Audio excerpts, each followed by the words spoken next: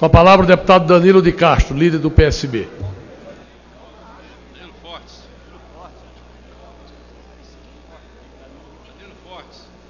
Danilo Forte. Ele, ele disse meu nome errado, não me dá uma coisa, não é só um minuto, não. Eu tenho direito a cinco minutos, presidente.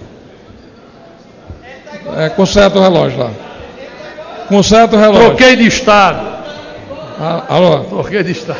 Senhor presidente, senhoras e senhores deputados, é, primeiro reconhecer e parabenizar a conduta da presidenta Rose de frente à frente da nossa comissão que foi de fundamental importância para que nós chegássemos aqui. Inclusive, acabei de, ali de, resolver, de receber um elogio da liderança do governo, que hoje a, a sessão está muito tranquila. E se ela está muito tranquila, é graças exatamente a essa construção. Uma construção consensual, uma construção realística, uma construção fática em cima da necessidade que nos impõe e que o parlamento tem capacidade de resolver os problemas do país numa velocidade muito maior. E é por isso que eu sou defensor do parlamentarismo eu acho que o parlamentarismo é um aperfeiçoamento do nosso regime político, capaz de ter uma proximidade muito maior com o conjunto da população e uma facilidade de resolver os seus problemas de forma muito mais rápida, muito mais sólida e muito mais presente no cotidiano das pessoas. Eu tenho certeza que o Brasil vai sair dessa crise muito maior do que nós entramos nela e nós vamos sair com, com um saldo, um saldo do aperfeiçoamento, inclusive do nosso regime político. Mas quero aqui exaltar o debate que foi feito com relação ao orçamento de 2016. A quebra de tabus que foi viabilizada graças à coragem do nosso relator Ricardo Barros. Ricardo Barros mexeu, como se diz, colocou o dedo na ferida de alguns tabus que existem na relação governamental do país e que precisam ser enfrentados.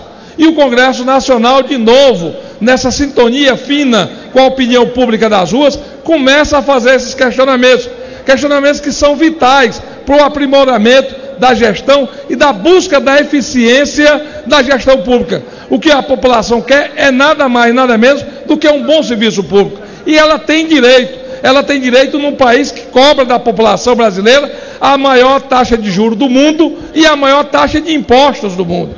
Nós temos uma das maiores tributações do mundo inteiro com uma péssima prestação de serviço com uma má qualidade, seja na educação, seja na saúde, seja na segurança, seja no transporte, em todos os segmentos onde o poder público tem a obrigação de corresponder aquilo que nós pagamos de impostos, exatamente com uma boa prestação do serviço público. E foi exatamente nisso que Ricardo Barro conquistou essa serenidade no acompanhamento da evolução que essa casa está fazendo.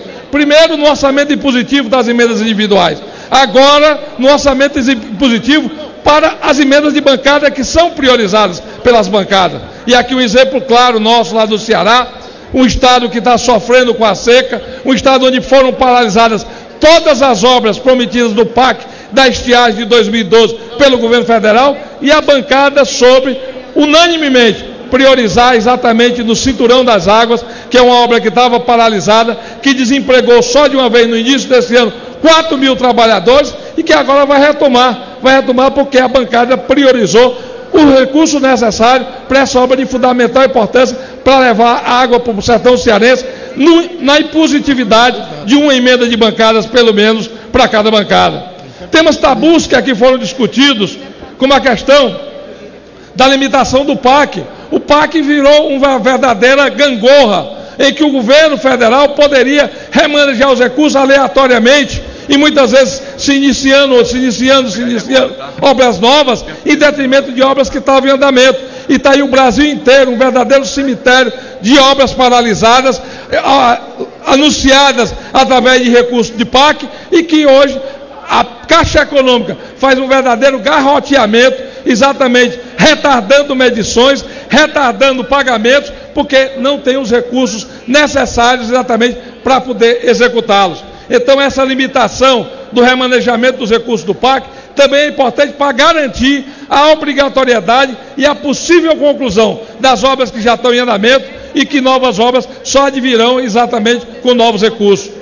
O enfrentamento do Zika vírus, no fechado orçamento, ainda encontramos recursos da ordem de 500 milhões de reais, exatamente na revisão da meta fiscal. Essa meta fiscal que protege o sistema financeiro, essa meta fiscal que protege os juros mais caros que nós pagamos, que o país inteiro paga, mas que foi reduzida exatamente no sentido de dar alguma garantia para a população, seja no combate a essa epidemia que amedronta todas as famílias brasileiras dos Zika vírus, seja também na consideração que hoje o orçamento faz em valorizar o homem e a mulher nordestina, principalmente, com a manutenção do programa Bolsa Família. E aqui discordo do relator se o programa tem deficiências, se o programa é mal fiscalizado, se o programa tem distorções, que sejam punidos aqueles gestores, aqueles responsáveis, aqueles mal operadores exatamente do sistema, mas que não se penalize a mulher e o homem pobre desse país,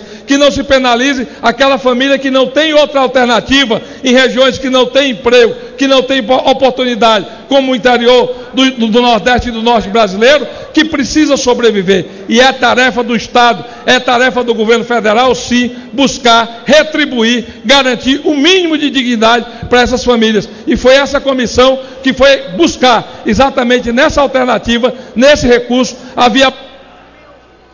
Presidente, a viabilização desse recurso de fundamental importância. Quero aqui também falar só de mais dois temas que são tabus, que a gente precisa debater no ano 2016.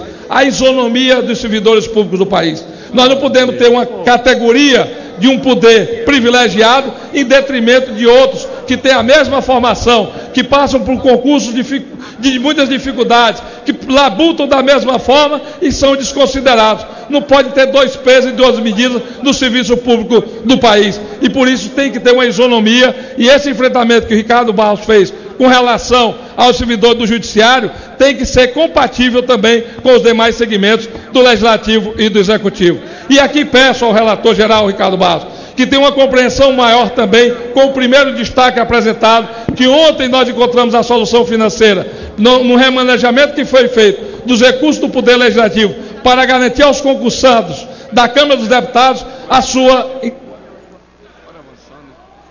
Danilo.